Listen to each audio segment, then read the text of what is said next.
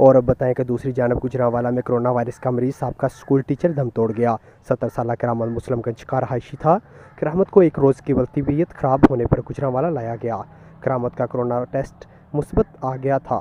करामत को शरीफपुरा कब्रस्तान में सपुर्द खाक कर दिया गया। हर लम्हा, हर खबर शान से।